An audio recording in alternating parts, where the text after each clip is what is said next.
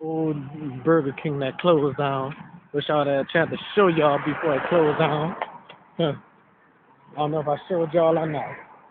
I don't know why they closed that, that, that Burger King down for some reason. That's the closed it down for some reason. I love being in Metairie. I miss this place so damn much. Huh.